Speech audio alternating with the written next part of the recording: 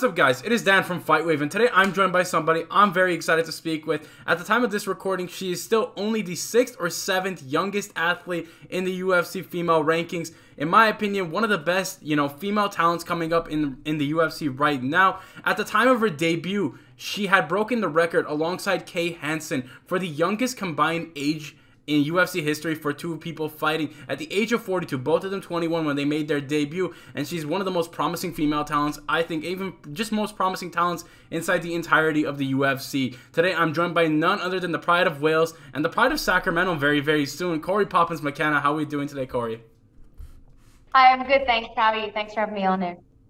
Absolutely, Cory. And you know, first and foremost, I gotta address, you know, the elephant in the room. Cory, where were you in 2023? I think every fan from Wales was asking that question. You know, just where's Poppins? Where's Cory? We got we got to see a, her fight in 2023. Talk to me about how you're feeling now that finally, you know, coming off a year you didn't fight, you have a fight announced against Jacqueline Amorim. You know, I'm on March 16 at UFC Fight Night. Yeah, I had a really rough year in 2023. Um, I had a lot of health complications. I had three back-to-back viral infections, you know, COVID, uh, all the long COVID stuff that everyone, you know, was talking about and everything. I got hit with all of that back to back. Um, I actually had RSV on fight week for the last fight, so I I've been messed up. I was messed up. Sorry, I'm I'm great now. Uh, I was messed up for quite a few months uh, you know, so then I had to like really just really focus on my health and my wellness for 2023, uh, which sucked. I wanted to get back in there towards the back end of the end of the year, but you know, it just didn't line up that way. But luckily, I've been healthy for quite some time now. I've just been training really hard, waiting to get that call up, and they finally offered me something in March. So it's not as uh, you know, it's not as soon as we we wanted, but you know, I'll, I'll be more than prepared and way healthier. So going into it, so it's, it's all good with me. No, yeah, definitely. And obviously, it's great to hear that you're doing well now, coming off a lot of those health issues. But, you know, more importantly, I feel like even despite all the fighting, you know, uh, complications, you've been staying busy in terms of just doing everything. I feel like we've been seeing Cory McKenna even outside the octagon with the commentating. I think that's one of the big things that stood out to me about you is, you know, how much you've excelled in this commentating role as of late. And also just, you know, staying busy, you know, being around the gym, Team Alpha Male, one of the best gyms in the world. And, you know, just really improving as a fighter and also just expanding your trade beyond just the fighting, being able to excel in other avenues of the fight game. Talk to me about staying busy in that regard, you know, taking up commentating. What's that been like? Just being able to stay busy amidst all these frustrations, I'd imagine.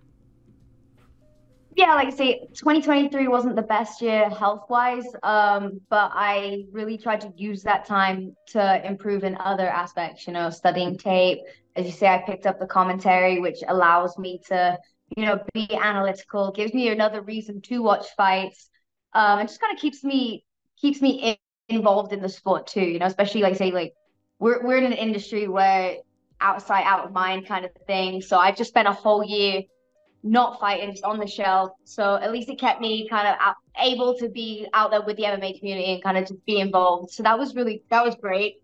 And then I also spent the year, you know, doing some like doing some certifications, getting qualified as a coach. Uh, I started teaching the kids class again at Ultimate Fitness, Team Alpha Male.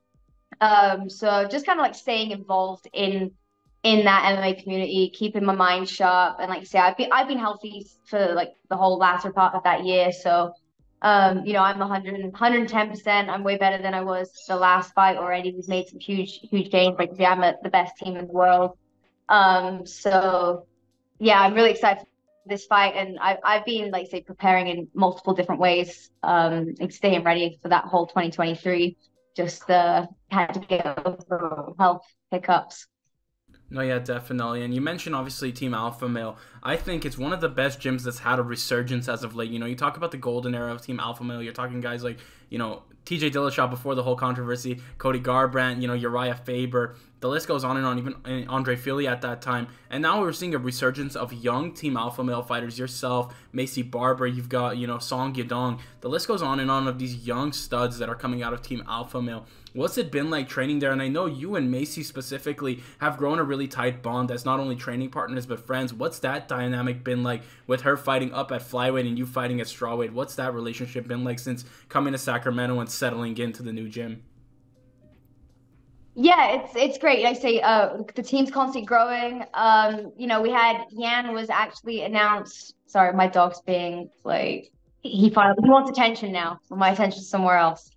Um, yeah, so Yan was announced yesterday. Uh, you know, she's fighting for the title, so that's great. Obviously, she's in my weight class, but she's she's years ahead of where I am. Like, we're never gonna fight, so it's great for me to have someone like that to push myself against, uh, test myself against that level, and then, like, say we have Maycee, the weight class up probably close to close to being in the running for that too. So I um I'm very fortunate, you know, day in day out I have these girls to test myself against to to train with um and it you know if, I keep up with them I can I can fight anybody you know it gives me that confidence going in there on fight night that you know I've I've already been in there with the best you know we work really hard day in day out on the team we're we're pushing each other we're investing each other you know I um special shout out to like obviously uh, I train with this girl uh, Tina Black. She's from Brazil. She's in my weight class. She's not in the UFC yet. She had a contender series shot. Um, didn't I, I don't think she quite did herself justice on it to be honest. She's one of the she's one of the hardest girls I've ever trained with.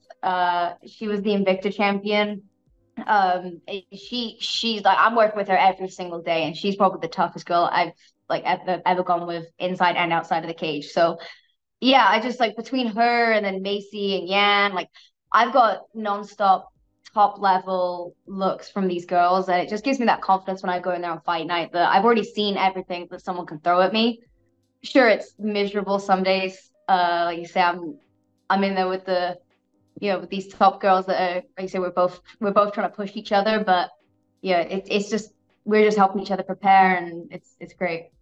No, yeah, absolutely. I love that. You know, and you talk about the differences that we see from you training. Um, I mean, both trainings I think were great, but I feel like we really see, uh, you know, uh, Cory Poppins, McKenna 2.0 since the fight against Elise Reed. I feel like obviously that one didn't go your way, but since then you've looked new and improved. I feel like you would agree with that sentiment in terms of just making the adjustments necessary and really excelling. I think, and still, you know, I bring up your age as a factor only because of how much poise you have in the octagon. I feel like, uh, you know, women's mixed martial artists and female mixed martial artists in the UFC do not get that credit that they deserve in terms of being so well rounded so early on in their careers, as opposed to some of the guys who fight. You know, they're very rough, raw prospects. You know, talk to me a little bit about that, being able to improve since coming to Team Alpha Male, and also just you know the improvements you've seen in your game maybe since the time away you know you talk about studying film and and watching tape maybe what are some big differences you see from you know, Cory McKenna when she made her UFC debut to now maybe after the last fight in 2022 against Vlismas? Yeah, I've actually talked on this a lot, and I feel like 2023 is a testament to this. Um, my health has really had to take a priority. This sport is brutal, and most people don't realize, you know, what's going on behind the scenes. Um, I had some very significant injuries going into that Elise Reed fight, and it kind of so it's like I didn't really have to change anything in terms of my training. If anything, I had to scale it back and take some time to realize that I actually just need to go in there and be the best version of me possible, you know, and that's and that's as healthy as possible. That's like I'm always prepared. I always if anything, I do too much work, which is a detriment, you know. So this last yeah, probably two years, it's been really about prioritizing health, um, you know, like kind of putting putting my health first. Essentially, that's that's that's literally it. Like I'm I'm always on the mat. Um, if anything, I train less now than I did for my UFC debut, but that's just because I'm, you know, I'm not running myself into the ground. Um, and I feel like 2023 was kind of my reset year, was trying to get healthy, get back, and it really shifted my focus, like my priorities a little bit. Um, because they always they always told me they're like you're gonna you're gonna go so hard and then eventually your body's gonna stop you and i feel like uh, yeah, the 2023 kind of checked me a little bit and it's given me that time that I needed to be like, okay, like if I'm gonna do this, I need to do it sensibly. So uh smarter, not harder has definitely been the approach for the last two fights or however many it's been. Um we we talk about it all the time and you know nothing's perfect. Every time we're trying to get better. Um still probably gonna have bumps in the road and stuff to work on with this camp. But yeah, health health is priority. You know, you only get one brain. Um, I've had some. Uh, I've had plenty of injuries in this sport. I'm not even gonna like beat around the bush. Like I've had plenty of injuries. Um, and I've fought when I shouldn't have fought, and I've had to learn the hard way that you know there's only so much our bodies are capable of doing. Um, so if anything, yeah, it's kind of just like say, I, I'm young, but I've had to I've had to grow up real fast and realize that sometimes sometimes it's not a weakness to pump the brakes and know when to slow down a little bit. No, yeah, I love that. And you know, you talk about just being able to learn and adapt to the situation. I feel like you, in terms of just people around you and the community you've built for yourself, you've got two amazing communities, not just up in Sacramento, but also uh, back home in Wales. You know, you talk about Welsh mixed martial arts right now. I feel like it's kind of getting back to what it was, you know, in the heats of COVID. We saw a lot of Welsh fighters during COVID, and then some of them, you know, obviously didn't pan out. Some of them are coming back. But I feel like 2024 is really kicking the gates wide open. You know, you are fighting Jacque Amorim. You've got Rhys McKee fighting Chidi and Njokuani. And then you've got Oban Elliott, well, coming off a phenomenal Dana White Contender Series, you know, debut or Dana White Contender Series showing, he's making his debut against Val Woodburn. Talk to me a little bit about what it's been like to see your fellow countrymen just being able to really take back that narrative. You know, Wales, I feel like, has kind of gone under the radar a little bit in the UK as of late, but really it's coming back and making that, you know, we're, we're still here. We still produce great talent, and we're seeing that time and day. You know, talk to me a little bit about your thoughts on that, and also just seeing, you know, a fellow countryman like, you know, Oban uh, Oban Elliott, what he's been able to do, you know, since you know the performance that he put on in the Contender Series. Yeah, I'm I, I'm really happy for Oban. Um, you know, like I worked really hard. He trains at Slayer Combat, where um, what I was training when I was back there. Um, we actually, I think we fought a few times on the same Cage Warriors card, but obviously I was always at the events and stuff too. So like you know, I've I've definitely seen him a lot coming.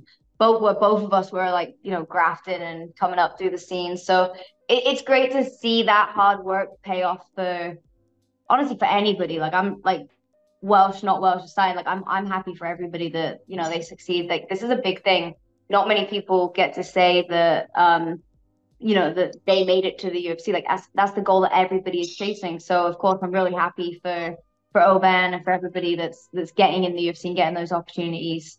Um, so yeah, I, I messaged him. I said, I said, well done. Like he's phenomenal performance, like way overdue. Um, so it's really cool. And then, like you say, we got we've got plenty of Welsh talent. You know, there's so many people coming up, and look, we've had so many great fighters in the UFC. Um, you know, even as a smaller country, like I feel like everyone, everyone who makes it, they're always a standout. So it's it's really cool to be able to claim myself as part of that group. No, yeah, absolutely. And I feel like you're doing a great job just in terms of not only representing Wales, but representing, you know, a greater picture of just young talent. You know, I feel like as of late, we've seen so much young talent. We talk about youth. I feel like that, I feel like, you know, like you mentioned, pumping the brakes a little bit. But needless to say, the skill, I think, is of younger fighters is only going higher and higher. You know, the, the threshold and kind of starting point has become so kind of improved and refined now that we're seeing younger talent come through and really be able to hold their own against some veterans of the fight game. You know, you look at strawweight right now, you're the third youngest in the division, and the division is wide open. I feel like it's one of those divisions where, you know, in terms of young talent or prospects coming up, there's very few and far between as opposed to a division like flyweight. Talk to me about your thoughts on the division right now and, you know, just seeing your insertion back into it in 2024, the excitement that you have for some of the possible matchups that could be coming your way. Yeah, um, honestly, like the division, the division stacked. I had a lot of people asking me all last year. They're like, "Oh, who do you think you're gonna fight? Like, who do you want to fight?" And I'm like, "There's so much talent in this division, and as you mentioned, like the level is constantly going up. Um, even outside of the UFC, you know, I, I had a conversation with someone the other day, and like, their amateurs are training like pros these days. You know, that like we've got teenage kids in the gym, like training four or five times a day, like like it's their job so it's like the level of this sport is going up every single day. Um, and I feel like the strawweight division is only getting better.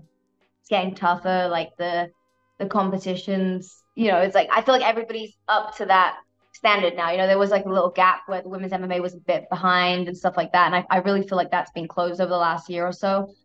Um, but the divisions, the divisions stacked. There's so much talent. So I'm just excited to be back in the mix. Um, you know, I don't know what's, I, am just taking it one fight at a time. So, you know, Jacqueline Amorim's like the only thing I'm focused on for now. But I don't know what the future holds after that. And that also excites me. You know, there's so many girls out there that are just training really hard and we've all got the same goal and yeah, it's it's exciting. No, yeah, definitely. And like you mentioned, not looking too far into the future. You know, Jacque Amorim is the opponent in in front of you right now, March 16th. That's the date.